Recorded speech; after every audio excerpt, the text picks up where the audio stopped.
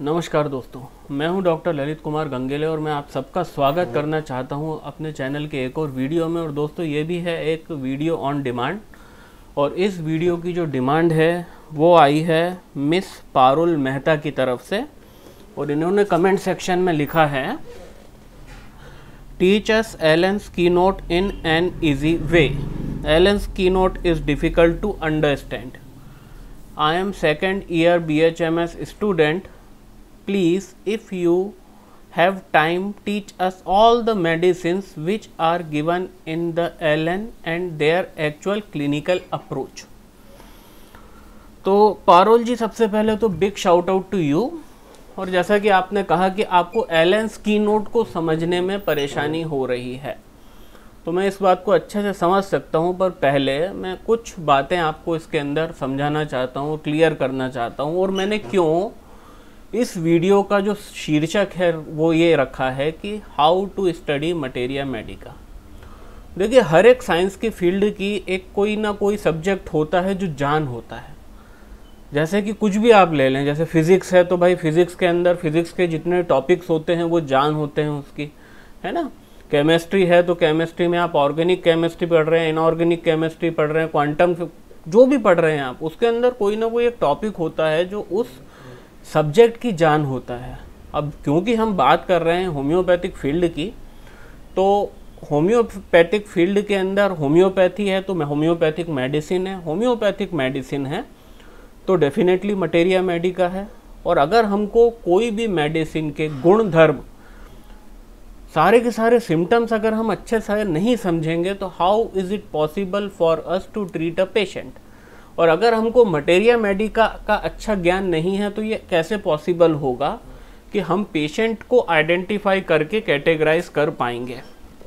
तो मैंने इसलिए ज़रूरी समझा कि मटेरिया मेडिका पढ़ने का तरीका अगर मैं आपको बता दूँ तो I don't have to tell you the individual medicine आप मेरी बात समझिए, दो तरीके हैं कि मैंने अपनी ज़िंदगी में जो सीखा है उसको मैंने पाया किस तरीके से, वो अगर मैं तरीका आप लोगों को बता दूँ तो आप लोगों को मेरे को हर चीज़ के अंदर असिस्ट नहीं करना पड़ेगा।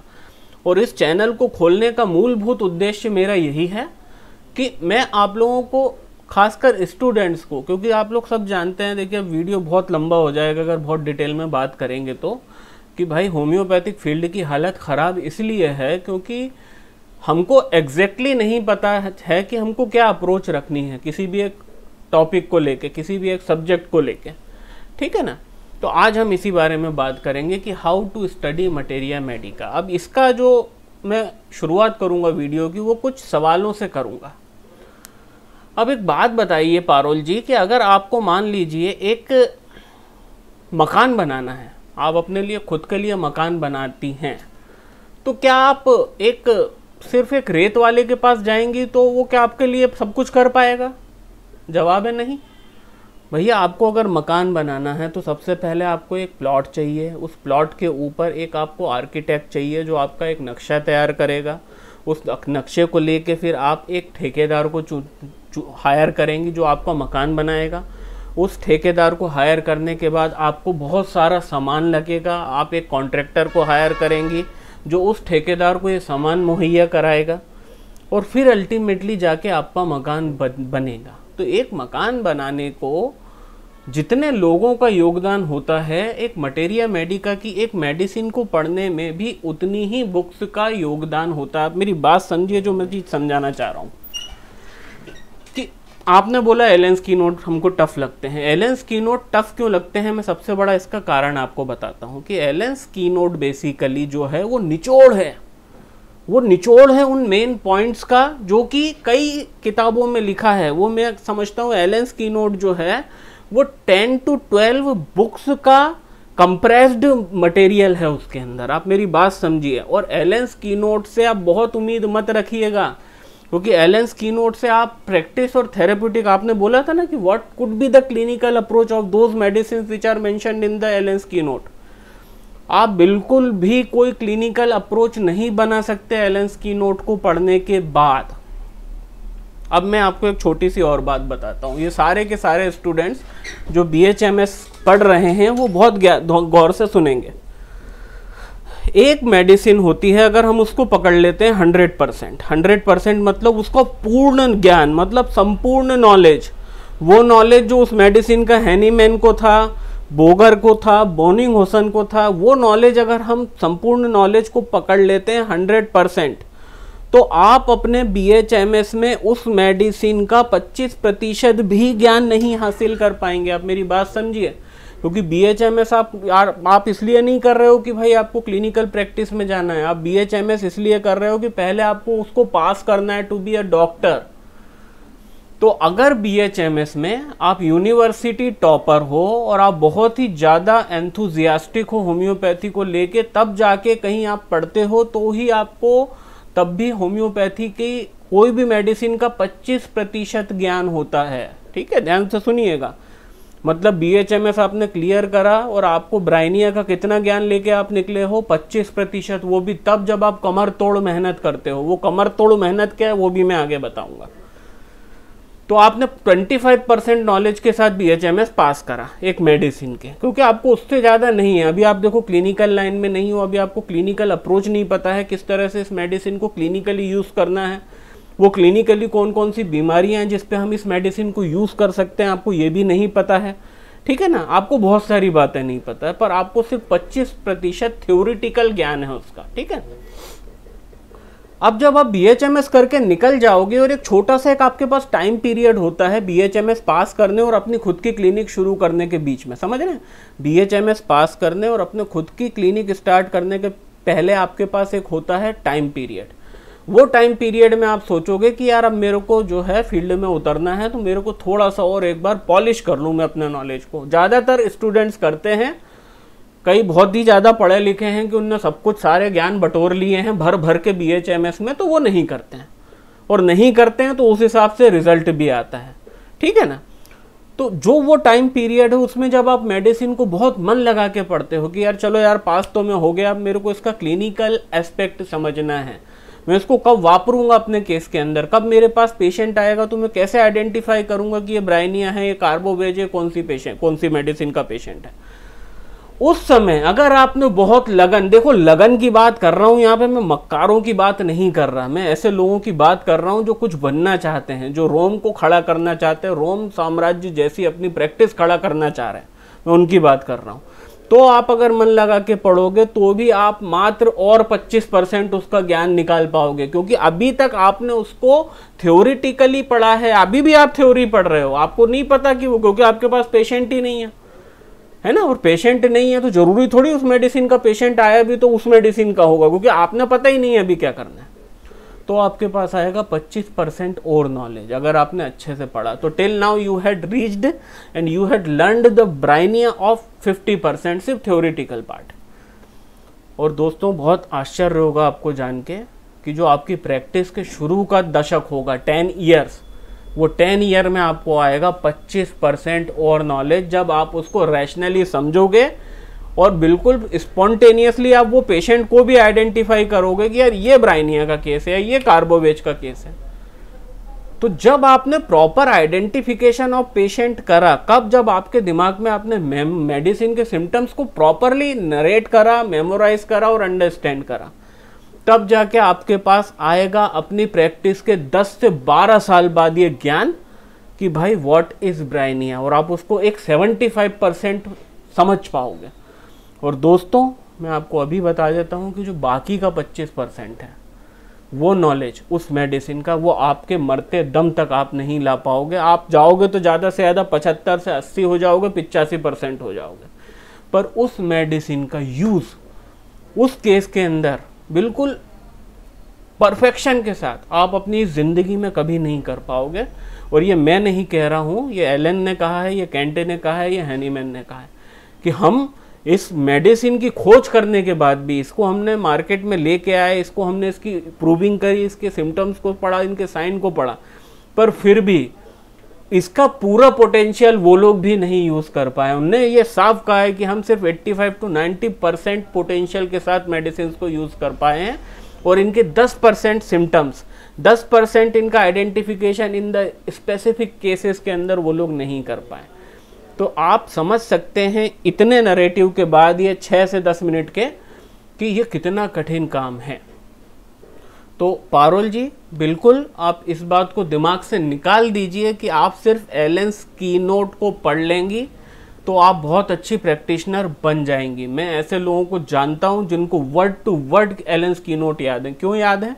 They are teaching in some sort of college वो एजुकेशन लाइन से जुड़े हैं। They are not in the practitioner line पर वो एलेंस की नोट को वर्ड टू वर्ड रटने के बाद भी उसको यूज़ नहीं कर पा रहे हैं। उसका कारण ये है कि एलेंस की नोट कंडेंस्ड फॉर्म है of the very vast knowledge तो आप सवाल ये पैदा होता है, आप पूछोगे कि भाई फिर यही बता दो कि अब कैसे पढ़ना है, हम कैसे बन सकते हैं, बहुत अच्छे डॉक्टर हम कैसे बन सकते हैं, बहुत अच्छे प्रैक्टिशनर हम कैसे नॉलेज लाएँ इन मेडिसिन का? तो दोस्तों, उसका सिर्फ़ एक तरीका है, हर एक बुक एक मेडिसिन के अलग अलग एस्पेक्ट पे फोकस करती है। अब मेरी बात सुनिए अपन ने मटेरिया मेडिका की थ्योरिटिकल पार्ट पढ़ने के बाद ways of study of materia medica पढ़ा था कि हम मटेरिया मेडिका की स्टडी को कितने प्रकार से कर सकते हैं। There is the physiological study of materia medica कि मटेरिया में मेडिका में बताई जाने वाली मेडिसिन का फिजियोलॉजिकल एक्शन पे क्या वर्क है। उसके लिए अलग बुक्स होती हैं, जैसे कि physiological materia medica of William Burt है ना एलेक्जेंडर ब्लैकवुड की फिजियोलॉजिकल मटेरिया मेडिका तो इन मटेरिया मेडिका में सिर्फ़ ये बताया गया है कि भाई फिजियोलॉजिकली फिजियोलॉजिकल जो बॉडी के डिफरेंट सिस्टम है, उस पर मेडिसिन जाके क्या वर्क करती है? ड्यूरिंग द प्रूविंग क्या मिला इनको? ठीक है ना? इसके लिए इन लोगों ने अलग से प्रूविंग करी थी हैनीमैन के बाद। मैं ये भी बता दूँ विलियम बर्ट अलेक्जेंडर ब्लैकवुड ऐसे बहुत बड़ा ग्रुप ऑफ़ होम्योपैथिक पाइनियर्स था जिनने सिर्फ़ फिजियोलॉजिकल एक्शन ऑफ़ मेडिसिन को डायरेक्ट देखने के लिए प्रूविंग करी थी। उनने जानवरों को फॉस्फोरस दिया और फॉस्फोरस से जब उनकी डेथ हो गई तो उनने ऑटोप्सी करी और ऑटोप्सी में दे फाउंड दैट कि इन जानवरों का फैटी डिजनरेशन ऑफ़ लीवर हो गया है और इसलिए हम फॉस्फोरस को फैटी डिजनरेशन ऑफ़ लीवर या fatty degeneration of the parenchymal organs के लिए यूज़ करते हैं। ये डाटा वहाँ से आया था। दूसरा तरीका है plain study of materia medica कि उसकी हेड टू टो तक हम पूरा का पूरा पहले हम इंट्रोडक्शन पढ़ते हैं, जैसे कि ज़्यादातर मटेरिया मेडिकाज में, फिर हम हेड टू टो तक उनका स्पेसिफिक एक्शन पढ़ते हैं। है ना? तो ये एक दूसरा तरीका, एक है pathological way of studying materia medica कि भाई पैथोलॉजी क्या क्रिएट करती है एक दवा अंदर जाके? ये बहुत मैं डिटेल में बात कर रहा हूँ, क्योंकि ज़रूरी है डिटेल में बात करना। हम आपको एक अच्छा प्रैक्टिशनर बनाना चाहते हैं, सीधी सी बात। और हमारा इस चैनल को खोलने का एक ही उद्देश्य है कि आप लोग बहुत अच्छे प्रैक्टिशनर बने और वो तब बनेंगे जब आप इन बातों को समझेंगे। है ना? तो मटेरिया मेडिका अलग अलग जो लिखी गई हैं, उनके अंदर मेडिसिन का एक अलग अलग एस्पेक्ट होता है और वो जो अलग अलग एस्पेक्ट को रखने के बाद ही हम एक पिक्चर बना सकते हैं। ठीक है ना? अब देखो डिपेंड करता है कि आपको कितना ऊपर जाना है, उस हिसाब से आपने पढ़ना है। मैं एक एग्जांपल यहाँ दूँगा कि एक 25 मंजिला इमारत है। जो जितना ऊपर पहुँचेगा तो उसका उतना लेवल मानूँगा मैं। तो भाई, आपको चढ़ चढ़ना पैदल है। आप चढ़ोगे पैदल तो जो जितना स्टेयर केस चढ़ के जो जितनी मंजिल में पहुँचेगा, उसको उतना अच्छा व्यू दिखेगा इस शहर का। और यहाँ पे वो व्यू है होम्योपैथी की फ़ील्ड के अंदर, बहुत अच्छे रिजल्ट्स और आपका नाम होना, आपको पैसा, शोहरत, दौलत सब मिलना। तो यहाँ पे आपको डिसाइड करना है कि आपको किस लेवल का स्टडी करना है। आपको मैं आपकी जानकारी के लिए बता दूँ, पारोल जी, कि जब मैं आपकी एज का था I was in the I was just pass the B H M S मैं आपसे बड़ा ही हूँ अपनी उम्र में। तो मैंने सल्फ़र पढ़ी थी एक महीने। मेरे को सल्फ़र पढ़ने में एक महीना लगा था। ठीक है ना? तो आपको एक मटेरिया मेडिका को, एक मेडिसिन का मटेरिया मेडिका के डाटा को लेने में बहुत ज़्यादा समय लगने वाला है। आप एक मेडिसिन को जब कई किताबों से पढ़ेंगे, तभी उसको आपको उसका डायरेक्ट पिक्चर क्लियर होगा और तभी वो आपके मुँह जबानी निकलेगा। अभी मैं आपको यहाँ पे मुँह जबानी कुछ दो तीन मेडिसिन का उदाहरण दूँगा, मैं आपको एल एलेंस कीनोट के अंदर जाकर ही वो पढ़ के बताऊँगा और आप उसको देखिएगा कि वो कितना मैं उसको मतलब डिटेल में समझा हूँ और आपको किस तरह से समझना है। तो देख दोस्तों, अब यहाँ पे मैं एक लिस्ट बताने वाला हूँ। वो सब वीडियो को पॉज कर करके लिख लेना और कोशिश करूँगा मैं एडिटिंग के टाइम पे उन बुक्स की फ़ोटो भी डाल दूँ, जो आपको बहुत ज़रूरी है मटेरिया मेडिका के पूरे नॉलेज को लेने के लिए। जो पहली, जिस पे ये वीडियो है, जिस रिक्वेस्ट में एच सी एल एन का की नोट आपको ये पढ़ना चाहिए, पर ये आपको शुरू में नहीं पढ़ना चाहिए। ये आपको कई मेडिसिन कई, एक मेडिसिन को कई बुक्स से पढ़ने के बाद इसको आपको पढ़ना चाहिए। ठीक है ना? ये तब आपको समझ में आएगा। अगर आप पहली बुक एज ए एलेंस की नोट लेके बैठ जाओगे तो आप कंफ्यूज होगे आपको कुछ समझ में नहीं आने वाला है। ठीक है? तो पहला एच सी एलेंस का की नोट आपको पढ़ना है। The second thing is the William Boericke की materia medica it is a must वो hard core clinical materia medica है और उसके अंदर जो बातें लिखी हैं, वो भी कंडेंस्ड फॉर्म में ही है, ये मैं आपको बता दूँ। The third most important materia medica to be a good therapeutics is Kent की lecture on homeopathic materia medica इसके अंदर 205 या 210 के करीब पॉलीक्रस्ट मेडिसिन है, जो कैंट ने बहुत डिटेल में लिखी हैं। ठीक है ना? The fourth one is the John Henry Clarke की a dictionary on practical materia medica भाई साहब, ये तीन वॉल्यूम में आती हैं। इसके कम से कम पाँच, सात सात तो पन्ने के तीन वॉल्यूम हैं पूरे के पूरे। और इससे आपको हर एक मेडिसिन को एज अ रेफरेंस पढ़ना पड़ेगा। ठीक है ना? काम कठिन है, पर भाई जो करेगा वो पाएगा, जो नहीं करेगा वो भटकेगा। सीधी सी बात है। पाँचवीं। पाँचवीं जो बुक है, वो है विलियम बर्ट की फिजियोलॉजिकल मटेरिया मेडिका इस किताब को पढ़ने पे जो आपको हर एक मेडिसिन के इंट्रोडक्शन में आपको लिखा होता है ना, कि Bryonia works on the mucus membrane and serous membrane तो ये म्यूकस और सीरस मेम्ब्रेन पे ब्राइनिया क्यों काम करती है? इसका डिटेल्ड एक्सप्लेनेशन है विलियम बर्ट की physiological materia medica and the six one this Alexander Blackwood's physiological materia medica तो दोस्तों, ये छह किताबें हैं। जिसके अंदर से एल एस की नोट को छोड़ दें तो बाकी पाँच को आपको पहले पढ़ना है। पढ़ने का तरीका बड़ा सिंपल है। एकोनाइट उठाई और एकोनाइट उठाने के बाद हमको एक एकोनाइट को इन छह किताबों से पढ़ना है और हमको अपने नोट्स प्रिपेयर करना है। सीधी सी बात। और मैं चैलेंज दे रहा हूँ कि ये छह किताबें पढ़ने के बाद आखिर पहली जो दो हैं विलियम बोरिक में और एलेंस की नोट में कौन सी लाइन कहाँ से लिखी है, आपको ये तक पता चल जाएगा कि अच्छा एलेंस की नोट में ये जो लाइन लिखी थी, ये तो विलियम बर्ट की किताब से आई थी। और एलेंस की नोट में ये जो लाइन लिखी थी, ये तो जॉन हेनरी क्लार्क की dictionary to practical materia medica के अंदर नरेटेड है। मेरी बात समझ रहे हैं कि ये जो किताबें जिनको कंडेंस किया गया है कंडेंस मतलब कुछ किताबों का निचोड़ है। आपको वो सारी किताबें पढ़नी पड़ेंगी। और उसके बाद दोस्तों जो नॉलेज होने वाला है मटेरिया मेडिका का, मैं बता रहा हूँ रिपर्ट्री की भी ज़रूरत बहुत कम पड़ेगी, या मैं बहुत बड़ा स्टेटमेंट दे रहा हूँ, क्योंकि मेरा ये हमेशा से मानना रहा है कि अगर मैं मटेरिया मेडिका को बाय हार्ट रट लूँ, समझ लूँ, उन दवाओं को अपने ब्लड के अंदर उतार लूँ, इतना डिटेल में पढ़ूँ तो भाई मेरे सामने जब पेशेंट आएगा तो how can I miss the sulphur patient मैं उसको कैसे मिस कर सकता हूँ? हाँ और मैं अपनी चीज़ों को वेरीफाई करने के लिए मैं सीधा कहाँ जा सकता हूँ? मैं सीधा जा सकता हूँ उनके ड्रग पिक्चर पे। और मैं रिपर्टरी से भी मेरे को वेरीफाई हो जाएगा कि अगर कोई सिम्टम वो मेरे को बता रहा है और मेरे दिमाग में पहले से है। ठीक है ना? पहले से क्यों है? क्योंकि भाई वो जब बोल रहा था तो मेरे को सीधी सीधी उस मेडिसिन में लिखी हुई लाइन मेरे दिमाग में आ रही थी। ठीक है ना? तो आइए अब दूसरी स्क्रीन पे चलते हैं और थोड़ा सा पारोल जी का जो कन्फ्यूज़न है उसके ऊपर हम बात करते हैं। तो दोस्तों, ये मैंने एल की नोट टाइप करा हुआ है गूगल के पेज के ऊपर गूगल खोल के। और यहाँ पे दो मेरे को वेबसाइट दिख रही है इन पे मैं ऑलरेडी वीडियो बना चुका हूँ the materia medica dot info इस पर भी मेरा एक वीडियो है कि ये ऑनलाइन मतलब ये ऑनलाइन है, ये कंटेंट है बुक्स का।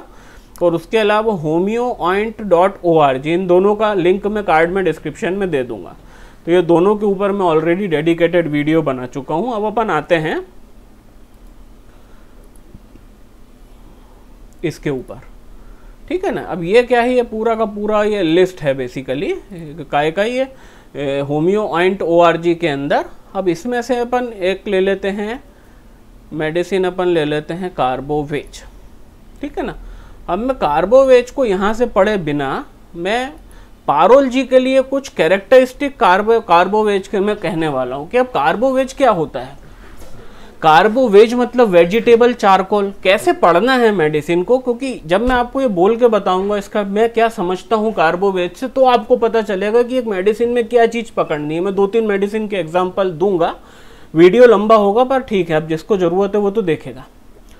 कार्बोवेज मतलब वेजिटेबल कार, चारकोल। कार्बो मतलब कार्बन और चारकोल मतलब कोयला। तो वेजिटेबल चारकोल मतलब लकड़ी के कोयले से जो हम दवा बनाते हैं that is the carbo veg अब कार्बोवेज क्या होता है? कार्बोवेज कोयला कैसे बनता है? अगर वो लकड़ी जो जल रही थी, वो लकड़ी पूरी जल जाती तो क्या बनता? राख बनती, ऐश, कुछ भी नहीं बचता ना।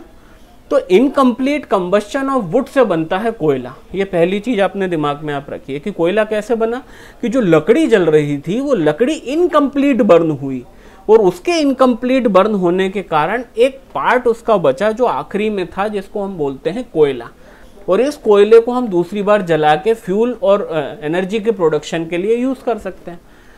तो carbo veg is the sign of in incomplete oxidation of the wood उसी तरह से जो कार्बोवेज का जो पेशेंट होता है, उसके अंदर भी इनकम्प्लीट कंबस्टन ऑफ़ फ्यूल हमको दिखता है। इनकम्प्लीट कंबस्टन ऑफ़ फ्यूल मतलब उसका जो मेटाबॉलिज्म है, वो मेटाबॉलिज्म एक स्लो रेट पे, स्लो पेस पे काम कर रहा है।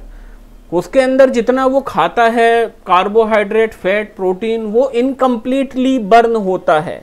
एंड उसके इनकम्प्लीट बर्न होने की वजह से उसको गैस्ट्रिक आइलमेंट्स पैदा होते हैं, जिसके लिए हम कार्बोवेज को प्री लेमिनरी यूज़ करते हैं। उसके अंदर खाने का कंबस्शन पूरा नहीं हो रहा है। क्योंकि देखिए, अगर मैंने 100 ग्राम खाया और 100 ग्राम को मैंने कंबस्ट कर दिया तो चारकोल तो बनता ही नहीं। 100 ग्राम लकड़ी थी, पूरी जल जाती तो धुआँ निकलता और क्या निकलती? ऐश निकलती और कुछ नहीं बचता। पर ये जितना खाता है, उतना कंबस्ट नहीं करता है। तो इसके कारण कार्बोवेज के पेशेंट के अंदर कॉर्पुलेंसी की टेंडेंसी होती है। वो मोटा क्यों होता है? क्योंकि वो जितना खा रहा है, वो कंबस्ट नहीं कर पा रहा। और वो जो पार्ट होता है, उसका in the form of fat के रूप में उसके अंदर डिपोजिशन होता है। समझ रहे हैं? तो यहाँ पे चारकोल से सीधा सीधा उस पेशेंट के फ़िज़िकल ट्रेट्स कैरेक्टर्स का कंपैरिजन की बात कर रहा हूँ मैं।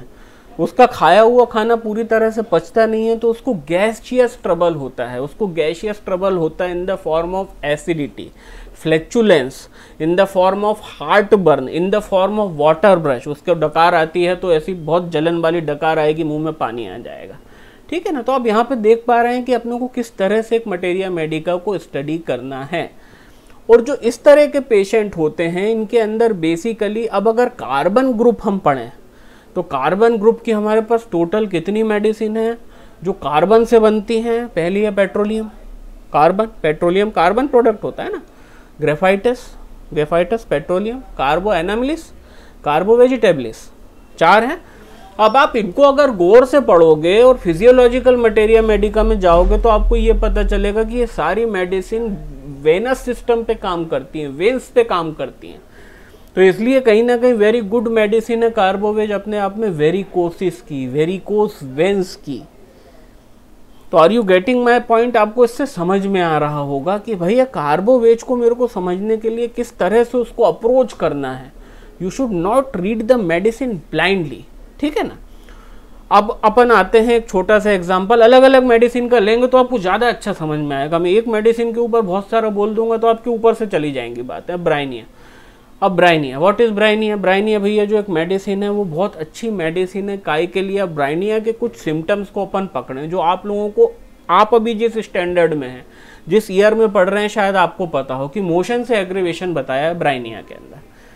अब ब्राइनिया के अंदर जो मोशन से एग्रेवेशन है that is the in the mental aspect and the physical aspect as well Bryonia का जो स्पीयर ऑफ़ एक्शन है, उसमें बताया गया कि ब्राइनिया काम करती है mucous membrane plus serous membrane पे। म्यूकस मेम्ब्रेन में ब्राइनिया पैदा करती है, dryness and that is why Bryonia के पेशेंट को अनक्विंशेबल थ्रस्ट लगती है for large quantity of water वो बहुत ज़्यादा पानी पीता है बार बार पीता है और ढेर ढेर सारा पानी पीता है। क्यों? क्योंकि उसकी म्यूकस मेम्ब्रेन ड्राई है। और वहीं उसकी सीरस मेम्ब्रेन में फ्यूजन बताया है। फ्यूजन मतलब पानी भरता है। That is why Bryonia is the very good medicine for the pleurisy जो लंग्स की जो आउटर प्लूरल मेम्ब्रेन है, जब उसमें पानी भर जाता है निमोनिया के केसेस के अंदर तो Bryonia is one of the first grade medicine क्यों? क्योंकि वो सीरस मेम्ब्रेन में पानी भरता है। और कहाँ सीरस मेम्ब्रेन में पानी भरता है ब्राइनिया के पेशेंट को? ब्रेन के अंदर इन द मेनिंजाइटिस मेनिंजाइटिस के अंदर, जब मेनिंजेस के अंदर पानी भरता है इन्फ्लेमेशन होता है तो why Bryonia is very good medicine for meninges है ना? Serous effusion on the brain वहीं पे कहीं और पानी भरता है, ब्राइनिया को सीरासिफ मेम्ब्रेन में? जी, बिल्कुल भरता है, घुटने में। है ना? ब्राइनिया को जो जॉइंट्स के अंदर सीरस फ्यूजन होता है दैट इज़ वाई ब्राइनिया के पेशेंट को जॉइंट में स्वेलिंग होती है। अब स्वेलिंग के अंदर रेडनेस और इन्फ्लामेशन होता है दैट इज़ वाई इस पेशेंट को मोशन से एग्रेवेशन है। ये थोड़ा सा भी चलेगा तो इसको मोशन से एग्रेवेशन होने लगेगा। अब देखिए, कितना सिंपली आपको अंडरस्टैंड करना है। इसमें कोई रॉकेट साइंस नहीं है। ब्राइनिया को मोशन से एग्रेवेशन और कहाँ कहाँ है? कि जब इसके पेशेंट को फीवर होता है और कोई इससे बातचीत करता है, क्यों भाई, कैसा है? कैसी तबीयत है? कैसा लग रहा है? बेटा, ठीक तो है ना? बेटा, कुछ लाऊं? अब बेटे को बोलने में भी एग्रेवेशन हो रहा है, क्योंकि उसकी जितनी जनरल कंडीशन है लिथार्जिक वो उसको जवाब देने के लिए जो मोशन कर रहे हैं, जैसे मैं बोल रहा हूँ तो मैं I am in the motion ना, मैं मैं मोमेंट कर रहा हूँ, उस मोमेंट से भी इसको प्रॉब्लम होती है। और इसलिए ब्राइन या पेशेंट हालचाल पूछने पर चिड़ जाता है। ठीक है ना?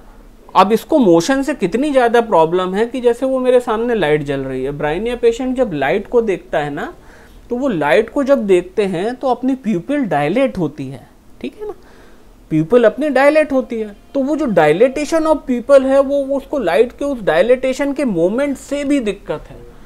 तो ब्राइनिया अपनी कोई भी कंडीशन में, चाहे वो फीवर की हो, चाहे वो जॉइंट इन्फ्लेमेशन की हो, चाहे वो इन्फ्लेमेशन कहीं पे हो निमोनिया हो मैनिंजाइटिस हो he will lie stand still उसको चुपचाप लेटना पसंद है, उसको अंधेरा कमरा पसंद है, क्योंकि उसको लाइट से जो उसकी प्यूपिलरी रिफ्लेक्स है, उससे भी प्रॉब्लम होती है। कोई उससे कुछ बात करता है, उससे भी उसको प्रॉब्लम होती है। तो आप देखिए, यहाँ पे मैंने कितने सिम्टम पकड़े ब्राइनिया के, मैं सिर्फ़ दो सिम्टम की बात कर रहा हूँ, तीन की सॉरी एक म्यूकस मेम्ब्रेन में serous dryness sorry mucous membrane में ड्राइनेस सीरस मेम्ब्रेन में फ्यूजन और एग्रेवेशन फ्रॉम मोशन ये देखिए आप, मेरा हर पॉइंट उसी के अगल बगल है। आप ये वीडियो को बार बार रिवर्स करके देखेंगे, आपको समझ में आएगी ये बात। अब हम आ जाते हैं, भैया मोशन वगैरह कैसा होगा ब्राइनिया का? भैया, ब्राइनिया का कफ कैसा होगा? जैसा कि मैंने बताया म्यूकस मेम्ब्रेन में ड्राइनेस है तो Bryonia will be the victim of the dry cough dry cough in the bronchitis ठीक है ना? उसको मोशन कैसा होगा? भैया, उसकी म्यूकस मेम्ब्रेन में तो हम हर जगह ड्राइनेस की बात कर रहे हैं तो ऑब्वियसली उसका मोशन जो होगा वो ड्राई होगा हार्ड होगा। और उसके ड्राइनेस और हार्डनेस की वजह से he do not have that desire to go to stool और जिसकी बहुत प्राइमरी मेडिसिन है ब्राइनिया मैंने कई वीडियो में ब्राइनिया और एल्यूमिना का इसमें मैंने वो बताया कि ब्राइनिया ब्राइनिया की कॉम्प्लीमेंट्री है एल्यूमिना जॉइंट्स पे क्या होगा? जॉइंट्स में भाई इन्फ्लेमेशन होगा। इन्फ्लेमेशन के साथ जॉइंट्स में स्वेलिंग बताई गई है। स्वेलिंग के साथ एग्रेवेशन ऑफ़ मोशन बताया गया है।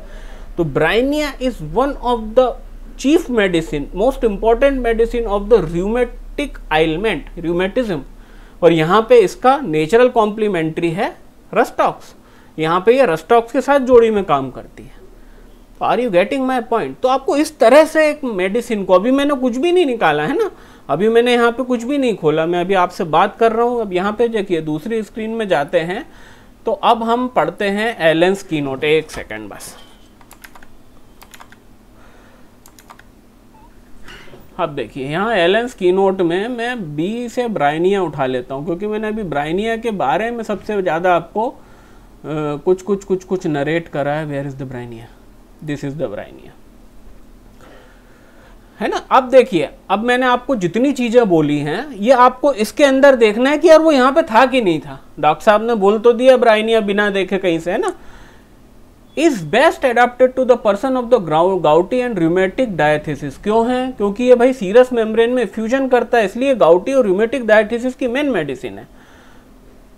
Prone is so called bilious attack है ना? यहाँ पे मैं एक चीज़ का आपको उल्लेख नहीं करा, क्योंकि Bryonia is a quite a lengthy medicine यहाँ पे मैं हर चीज़ ब्राइनिया लीवर की बहुत इंपॉर्टेंट दवा जो बिलियस अटैक्स होते हैं ना, जो बिलियस अटैक क्या होता है?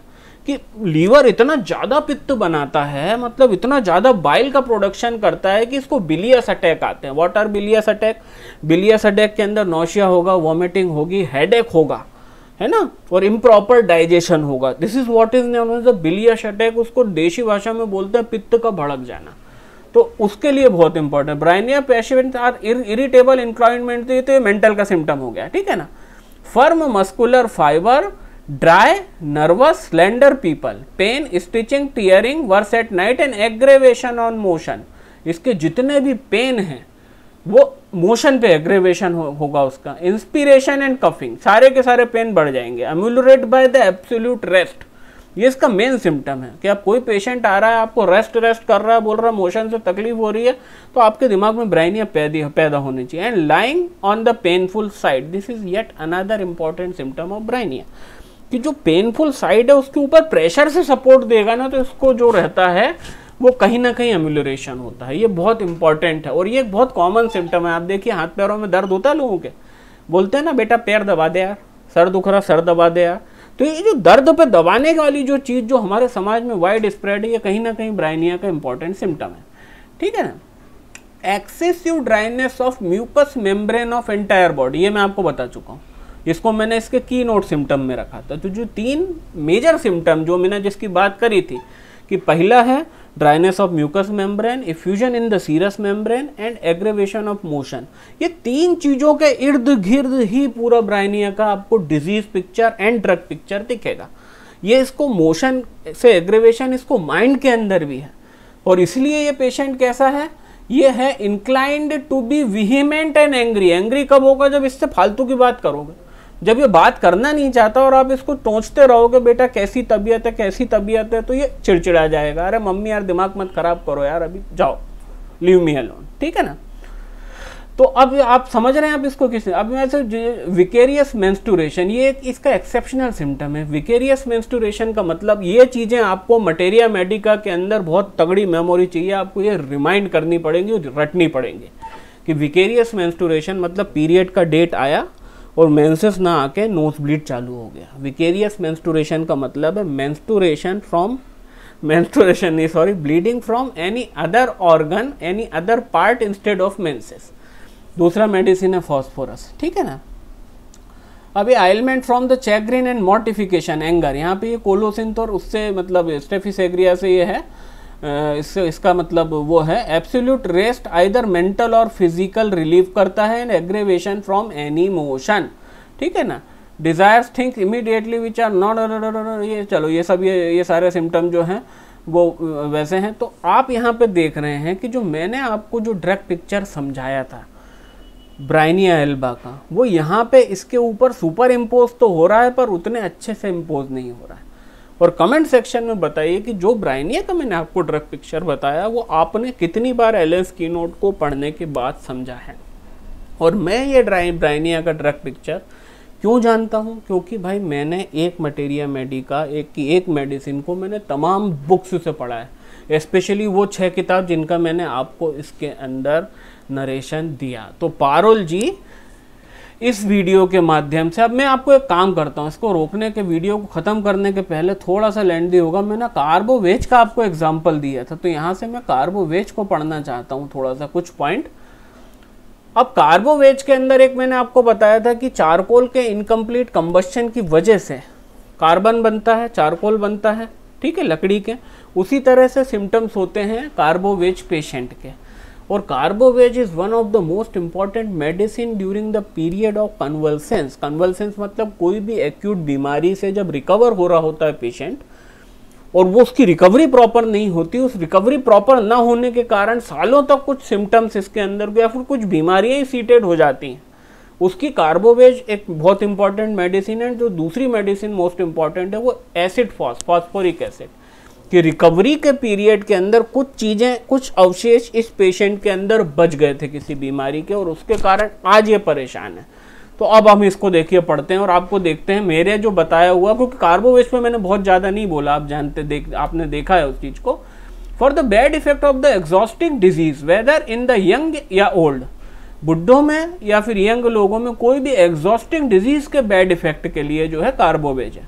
Cachectic person whose vitality has become weakened or exhausted person who have never fully recovered from the exhausting effect of some previous illness asthma deaths from the measles या पर्टोसिस ऑफ़ चाइल्डहुड मतलब छोटे में उसको whooping cough pertussis मतलब whooping cough या measles हुआ तब से अस्थमा है आज तक बना हुआ है ठीक है ना इनडाइजेशन फ्रॉम ड्रंकर्ड डिबॉच कि ये खूब इनने दारूखोरी करी अपनी पूरी जवानी में और आज मिड एज ऑफ़ लाइफ या बुढ़ापे में इनको इंडाइजेशन की प्रॉब्लम है। Bad effect from long ago injury, बहुत पुरानी इंजुरी, आर्नी का सेकंड मेडिसिन है ना? Remote effect of the injury तो bad effect from the long ago injury has never recovered from the effect of the typhoid. है ना, ailment. मतलब typhoid से ये रिकवर कभी नहीं हो पाया। कुछ साल पहले टाइफाइड हुआ था, आज भी परेशान है। कुछ कुछ हो रहा है इंडाइजेशन हो रहा है, तमाम चीज़ें हो रही हैं। Ailment from quinine. कुनाइन कब देते हैं भाई? इंटरमीडियंट फीवर में कुनाइन देते हैं। तो इंटरमीडियंट फीवर के बाद सप्रेशन ऑफ़ इंटरमीडियंट फीवर के बाद, आज परेशान है। Abuse from mercury salt salt meat spoiled fish spoiled fish fish मतलब स्पॉइल्ड फ़िश मतलब जो डिकम्पोज खाना खाने की वजह से, कुछ सड़ा हुआ खा लिया इंडाइजेशन हो गया पॉइजनिंग हो गई कार्बोवेज दूसरी मेडिसिन पायरोजिनम ठीक है? From getting over heated एंटीम crude बहुत गर्मी गर्मी हीट हीट की वजह से इसको कोई आइलमेंट है। Bad effect from loss of vital fluids ठीक है ना? Haemorrhage from any broken down condition of mucous membrane weakness of memory slowness of thought मतलब मैंने क्या बताया था? जैसे कि कोयला बना तो कोयला इनकम्प्लीट कंबस्शन के कारण हुआ। तो जब हमारी बॉडी के अंदर ग्लूकोज कार्बोहाइड्रेट और फैट का कम्बस्चन प्रॉपर होगा तो बंदा एक्टिव रहेगा।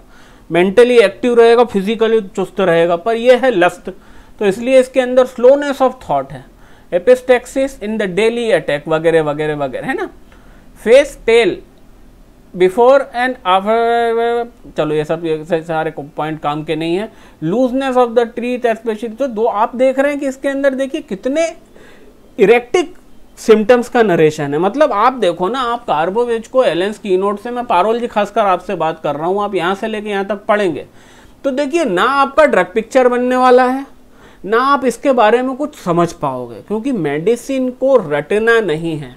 मेरिट, मेडिसिन को समझना है और मेडिसिन को हम तब समझ पाएँगे जब हम इस मेडिसिन को मल्टीपल बुक्स से पढ़ लेंगे और मल्टीपल बुक्स से पढ़ने के बाद, मैं आपको देखिए, मैं मेडिसिन के नरेशन शॉर्ट नरेशन के बाद इसलिए बार बार मैं आपको, मैं बुक भी पढ़ के बता रहा हूँ। कि आप देखो, आपने एलेंस कीनोट की स्पेसिफिकली बात की है ना? तो इसलिए मैं उसके अंदर से बढ़ के बता रहा हूँ कि वहाँ पे देखिए, कोई भी किताब के अंदर फ़र्स्ट पैराग्राफ की एक लाइन लिखी है फिर कोई दूसरी किताब की लास्ट पैराग्राफ की एक लाइन लिखी है। फिर उसके बाद कोई तीसरी किताब के मिड सेक्शन के कोई एक छोटे से वाक्य के नरेशन के बारे में तीसरी लाइन लिखी है। दैट इज़ वाई आप इसको पढ़ के कुछ भी नहीं समझ सकते at least in the initial phase जब आप मटेरिया मेडिका को प्रॉपरली पढ़ेंगे फ्रॉम द मल्टीपल बुक तो you should study one single medicine from the multiple book at the single time तो आप ये डेफिनेटली ये आप समझेंगे और आप पाएँगे कि आपने इन बुक्स को डिकोड कर लिया है। मेरा ये मानना है एलन स्कीनोट और विलियम बोरिक के पता मार्केट में आने का मेन रीज़न क्या था? वो ये था कि वो कहीं ना कहीं ये एक बीटर है हम लोगों के लिए कि अगर हमने मटेरिया मेडिका को बहुत अच्छे से पढ़ा है तो आप एक दिन आएगा कि आप बोरिक के अंदर लिखी हुई लाइन को पढ़ के तुरंत आइडेंटिफाई कर लेंगे कि यार ये लाइन तो उस वाली किताब में लिखी थी। ये जो लाइन है, इसके पीछे उस किताब का हवाला दिया गया था। ठीक है? हवाला मतलब रेफरेंस ठीक है ना? तो दोस्तों, ये बिना सर पैर का वीडियो तो आपको लगेगा, पर इसको आप रिवाइंड कर कर के बार बार देखेंगे तो you will definitely come to know कि how to study the materia medica क्योंकि दोस्तों materia medica is the backbone of homeopathy कई लोग ऐसे हैं, मटेरिया मेडिका का जर्रा भी नॉलेज नहीं और प्रैक्टिस कर रहे हैं उनको बड़ा डर लगता है उन लोगों से, यार। How can you practise the materia medica on the base of some nonsense and idiotic software कि आपने एक सॉफ्टवेयर लगाया, उसमें बस अपने सिम्टम डाले और मेडिसिन वो बताता जा रहा है, आप देते जा रहे हो, आपको कोई नॉलेज ही नहीं है मटेरिया मेडिका का, है ना? तो दोस्तों, ये जो वीडियो है, काफ़ी लंबा है, पर ज़रूरी था आप लोगों को ये समझाने के लिए कि मटेरिया मेडिका पढ़ना कोई देखिए, हज़ारों वीडियो मिलेंगे जहाँ पे एक वीडियो में लोगों ने ज़रूरत करी है सल्फ़र को बताने की। यार, तुम एक पंद्रह मिनट या दस मिनट के वीडियो में आप सल्फ़र के बारे में सब कुछ बताने का दावा कैसे कर रहे हो? बे, पागल हो क्या तुम? नहीं, सल्फ़र पढ़ेंगे। मैं दो, एक महीने सल्फ़र, एक सवा महीने पढ़ी थी, मेरी हिम्मत टूट गई थी। सल्फ़र तो मैं काफ़ी हद तक समझ गया था, पर आज भी मेरे को सल्फ़र पढ़ रहा हूँ मैं। आज भी सल्फ़र अपने आप को क्लियर कर रही है कि बेटा तू जो मेरे को समझता था, मैं वो नहीं हूँ। मैं कुछ और हूँ। तो दोस्तों, ये जो एक टॉपिक है how to study materia medica ये अलग से एक मैं प्लेलिस्ट बना दूँगा। ये उसका पहला वीडियो है। और जब भी आप में से किसी को मटेरिया मेडिका की स्टडी को लेकर कुछ करना हो, इस पर मैं और वीडियो बनाऊँगा, क्योंकि एक वीडियो में इसके ऊपर मैं पाँच घंटे भी बोलूँगा ना, दोस्तों, बहुत कम है। बहुत कम है। नहीं है सफिशियंट तो अब मैं आगे और डिटेल में बताऊँगा आपको नेक्स्ट आने वाले वीडियो में कि मटेरिया मेडिका को ग्रास्प किस तरह से करना है। दोस्तों, उसको समझने की कोशिश करना है। रटोगे तो नहीं रट पाओगे दोस्तों, सैकड़ों, हज़ारों मेडिसिन है, हज़ारों सिम्टम है इतू सा दिमाग है इतू से दिमाग में इतू सी मेमोरी कितना आ जाएगा? तो तरीका बस एक है मेमोराइज करोगे तो लिमिटेशन है मेमोराइज नहीं करोगे एप्रीहेंट करोगे, समझोगे तो आपको सारी चीज़ें बाकायदा समझ में आएँगी और पेशेंट आएगा तो दिखेगा भी। है ना? बड़ा सिंपल होता है हेडेक हो रहा है, कैसा हो रहा है? अरे साहब, वो यहाँ हो रहा है, यहाँ हो रहा है, जहाँ पे भी हो रहा है।